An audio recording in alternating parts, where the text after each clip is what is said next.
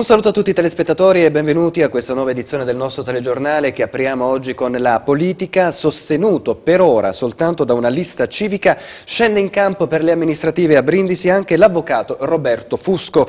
Stefania Franciosa lo ha intervistato a poche ore dall'ufficializzazione della sua candidatura alla carica di sindaco. Vediamo. È dunque ufficiale nella campagna elettorale per le amministrative a Brindisi del 6 e 7 maggio prossimi scende in campo anche l'avvocato Roberto Fusco. Sarà lui a rappresentare il gruppo di cittadini che nelle settimane scorse aveva lanciato il manifesto per la città. Più che scendere in campo io, scende in campo questo gruppo di cittadini eh, di tutti i tipi e di, tutti, di tutte le età. C'è anche un patto inter, intergenerazionale perché raggruppiamo anche ragazzi di 30 anni, 38 anni, che non, la prima volta che si affacciano alla politica, volti completamente nuovi, hanno deciso loro e, e io gli, gli sono al fianco, sono il loro candidato, spero di di combattere bene. Al momento nessuna alleanza, ha spiegato ai nostri microfoni l'avvocato Fusco, smentendo le voci di questi giorni. Fino a ieri sera questo bambino non era ancora nato, dirgli chi sono i suoi compagni di liceo un po' presto, vedremo. Sarà sempre come sempre il gruppo di cittadini che deciderà, io sono solo il loro rappresentante. Qual è intanto il progetto di città che volete? Il progetto di città è quello del manifesto per la città che è stato lanciato 20 giorni fa e, e, che è passato già alle tv alla stampa. Basta con la svendita del territorio, basta con la logica del subappalto, no a rigassificatori, incremento delle attività commerciali, agroalimentari, dell'industria tecnologica avanzata e, e, e anche ecocompatibile, e grande recupero della legalità e della partecipazione dei cittadini. Intanto si prospetta, inutile negarlo, una campagna rovente, immagino che stia comunque seguendo quelli che sono i fatti che si stanno verificando all'interno delle altre coalizioni. Sì, ma le devo essere sincero, eh, spero che la nostra partecipazione la renda meno rovente, perché noi parleremo solo di programmi, parleremo principalmente di programmi non ci interessa particolarmente poltrone o altro, quindi non, non, dobbiamo fare accordi roventi con nessuno, tutti quelli che ci stanno col programma saranno esaminati senza pregiudizi e senza preclusioni. In lista avremo professionisti, medici che sono sia di sinistra che di destra. Ma pensa che ci sia un po' di confusione nella politica della città? Beh, non solo della città ma anche nazionale, è un momento di balcanizzazione della politica, si disgrega un vecchio mondo politico, infatti eh, siamo solo all'inizio di notevoli cambiamenti ed è per questo che tutti i cittadini devono partecipare. Nel momento in cui eh, eh, crollano i vecchi partiti tradizionali è necessaria una maggiore partecipazione dei cittadini. Ma ad oggi cosa si aspetta? Mi aspetto che la città possa esprimere le migliori candidature possibili in qualunque partito, non, non solo nella mia lista ma in qualunque partito in modo che il prossimo Consiglio Comunale sia di adeguato livello in modo da poter decidere e guidare la città in momenti difficili, non solo per Brindisi ma in campo nazionale e internazionale. I temi affrontati dal candidato sindaco Roberto Fusco saranno approfonditi nel corso di una trasmissione condotta lunedì prossimo dal direttore Tonino Saponaro. Dalla politica alla cronaca proseguono incessanti i controlli della squadra mobile di Brindisi finalizzati alla prevenzione dei fenomeni criminosi. Nella mattinata di oggi il personale della sezione antirapina ha effettuato una perquisizione domiciliare nei confronti del 41enne pregiudicato Tom De Tommasi, soggetto già noto alle forze dell'ordine per i suoi precedenti di polizia. All'interno della sua abitazione di Tuturano, in contrada Torre Rossa, è stata rinvenuta in un cassetto in camera da letto una pistola calibro 9 completa di caricatori caricatore, lo vediamo nella foto, con sei colpi inseriti. Inoltre all'interno di una busta in plastica erano custoditi altri tre colpi calibro 7,65. I successivi accertamenti condotti anche con l'ausilio del personale della Polizia Scientifica e dell'Armiere della Polizia di Stato hanno fatto emergere come l'arma fosse perfettamente funzionante, pronta quindi per l'utilizzo. Sulla base degli esiti investigativi De Tommasi è stato quindi tratto in arresto per detenzione illegale di arma da fuoco e tradotto già presso la locale casa circondariale a disposizione del pubblico ministero di turno il dottor De Nozza. Accertamenti proseguono anche al fine di verificare le motivazioni per le quali detenesse l'arma De Tommasi anche in considerazione della circostanza che lo scorso 8 gennaio presso l'abitazione del pregiudicato furono esplosi alcuni colpi di arma da fuoco. Ancora cronaca i militari del reparto navale delle Fiamme Gialle all'esito di complesse e articolate indagini in materia di tutela dell'ambiente hanno sottoposto a sequestro un'area di 200 metri quadri adibita a discarica abusiva nei pressi del litorale nord della costa brindisina. Nel sito sono state sequestrate parti di ricambio di autovetture ed Eternit per complessivi 20.000 kg di rifiuti speciali pericolosi e non. Conseguentemente al primo intervento le indagini operate hanno portato all'individuazione di un'autocarrozzeria dove un un'ulteriore area di 100 metri quadrati circa è stata sequestrata per violazione della normativa ambientale. A tutela dell'ambiente al fine di prevenire l'inquinamento in ambito portuale è stato infine rimosso e avviato alla distruzione un peschereccio che sequestrato nel 2009 nel mese scorso è stato interessato da un incendio mentre era ormeggiato presso il canale Fiume Piccolo nel porto di Brindisi. Ritorniamo proprio a Brindisi, presidio antifascista questa mattina in piazza Cairoli, un'iniziativa nata per contestare il volantinaggio del Movimento Nazionale Popolare che era previsto proprio per oggi. Stefania Franciosa. Si sarebbe dovuto tenere oggi il banchetto volantinaggio promosso da Movimento Patria Nostra, Forza Nuova, Movimento Nazional Popolare Nuovo Ordine Nazionale, previsto a Brindisi in piazza Cairoli. La prima di una serie di iniziative contro il governo Monti e la classe politica italiana, contro le liberalizzazioni selvagge, contro l'immigrazione incontrollata, contro lo strapotere delle multinazionali. Affermare i movimenti, forse è maltempo, ma l'Associazione Nazionale Partigiani Italiani di Brindisi si dice convinta che ad impedire la manifestazione sia stata la decisione di un presidio antifascista a cui hanno aderito oggi numerose associazioni del territorio. Grazie anche alla mobilitazione e alla presa di posizione di una buona parte della società civile brindisina eh, con tutte quante appunto le loro adesioni al nostro appello, eh, i neofascisti non si sono presentati questa volta. Noi appunto richiediamo che non vengano dati spazi a chi eh, ha dato ultimamente, come nel caso appunto quando c'è stata l'emergenza dei profughi qui il 16 16 aprile qui in piazza Vittoria dei volantini dichiaratamente razzisti e che incitavano all'odio contro i migranti e contro i profughi che venivano dalla guerra. Questo non è possibile.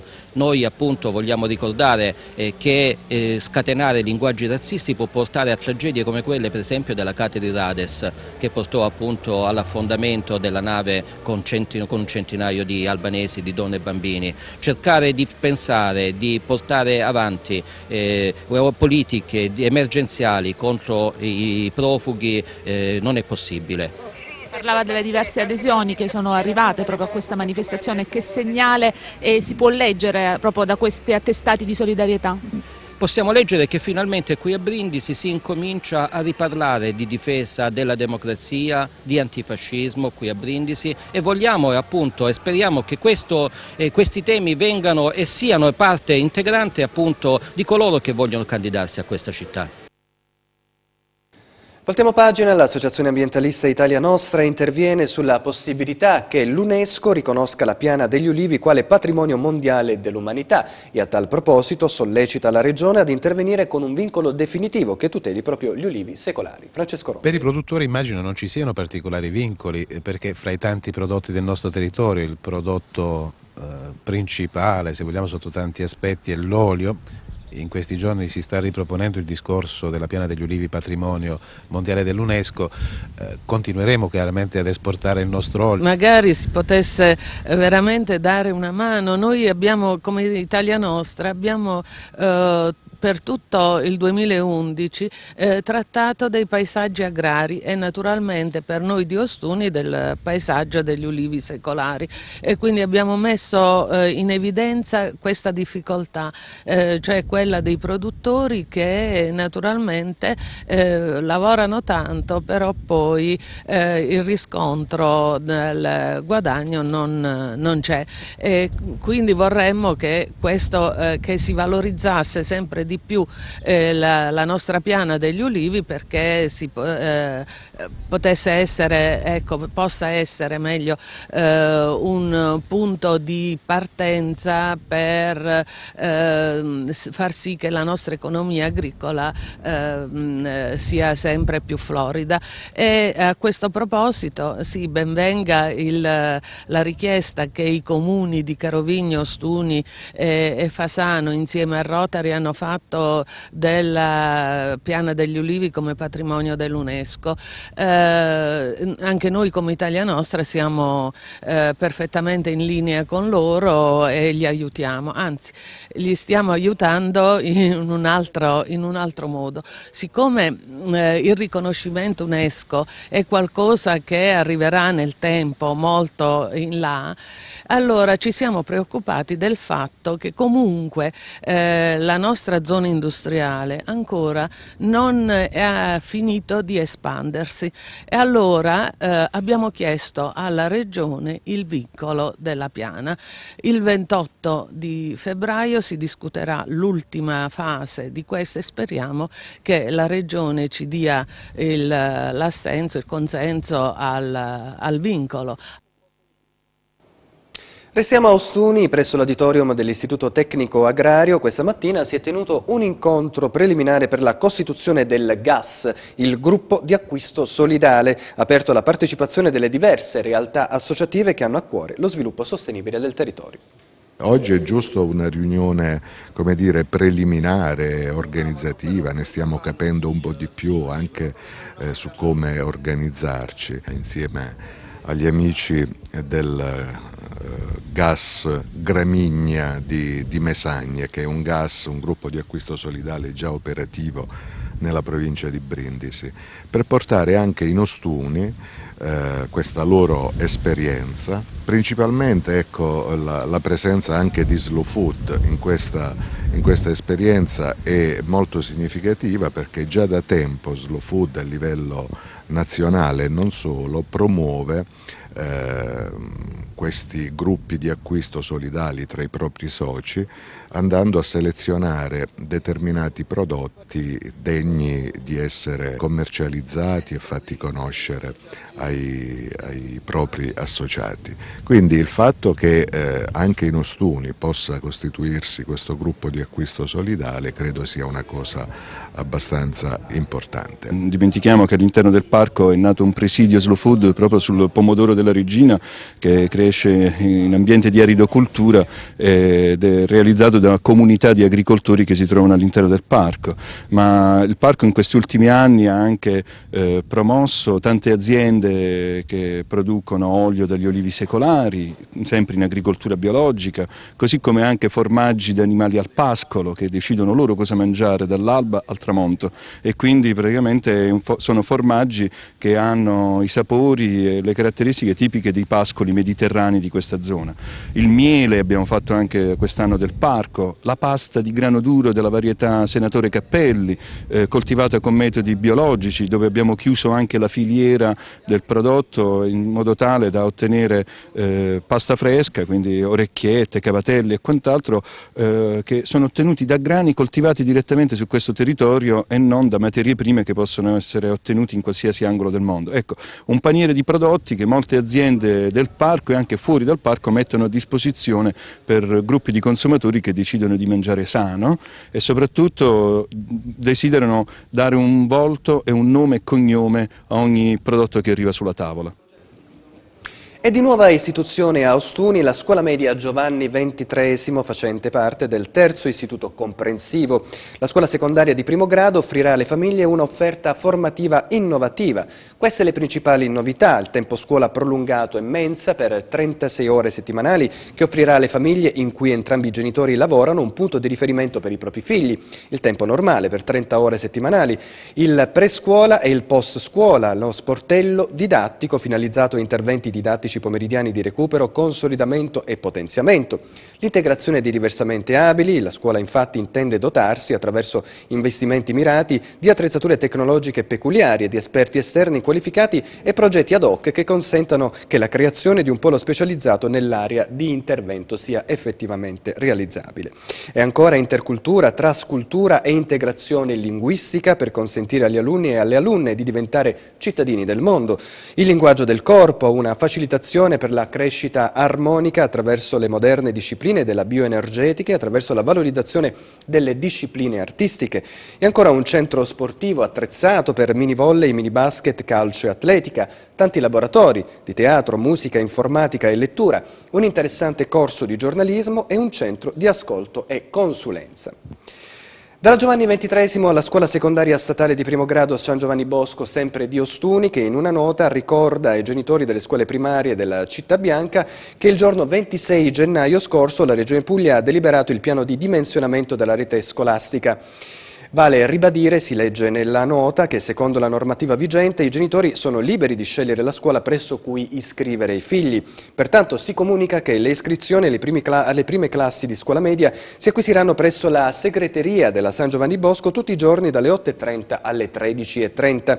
I genitori sono quindi invitati a partecipare all'assemblea per la presentazione del POF che si terrà lunedì prossimo 13 febbraio alle 17.30 presso la scuola media San Giovanni Bosco.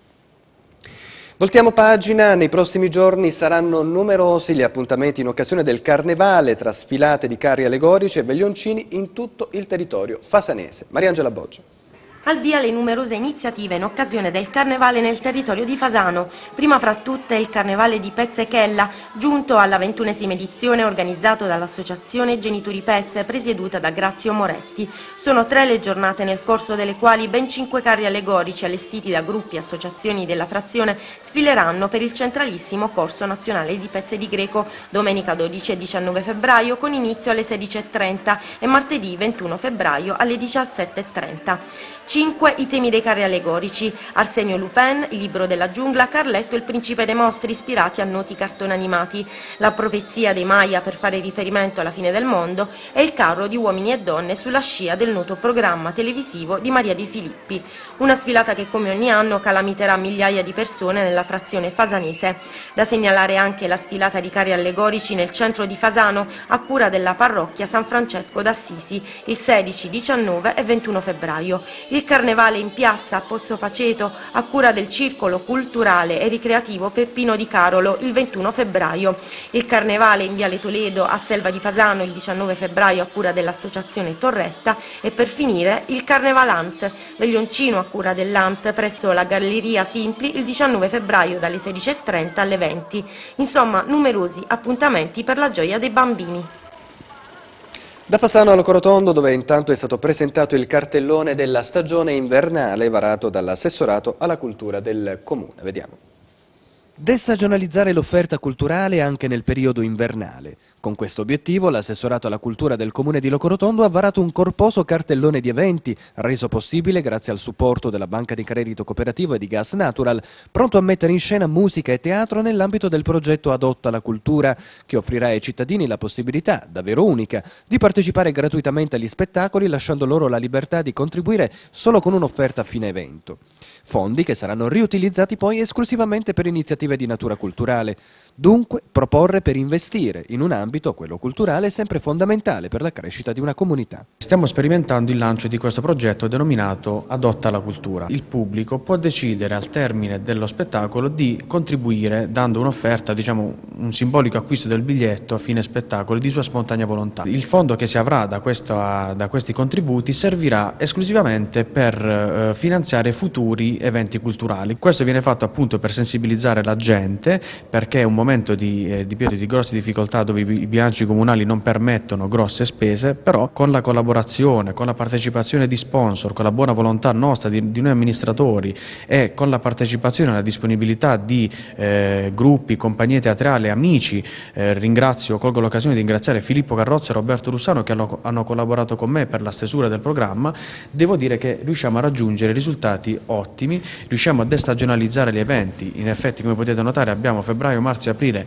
ricca di eventi, riusciamo a soddisfare un po' tutte le richieste, quindi musica, musical e cultura in genere, presentazioni di libri, manifestazioni teatrali come ad esempio la compagnia teatrale Tetè di Logorotondo che ci porterà il teatro invernacolo a Logorotondo. Abbiamo una fusione di due compagnie di Logorotondo, il Coro de Gitria con il Caro di Tespi. Ospiteremo eh, a livello nazionale, chiaramente abbiamo anche degli ospiti di calibro nazionale come Marco Bagliani che ci porterà il suo famoso spettacolo Colas. Ospiteremo il regista Carlo Formigoni, ci porterà Amleto. Abbiamo un nostro compaesano Filippo Carrozzo che ci porterà un suo nuovo spettacolo, Due Mondi, che presenta per la prima volta a Logorotondo Grazie all'associazione Antifone Jazz ritornano degli eventi musicali qui a Lagorotondo con Ettore Carucci al pianoforte e un quartetto di archi eh, e ci sarà anche un, poi un trio musicale che vede un nostro compesano Giovanni Angelini alla batteria.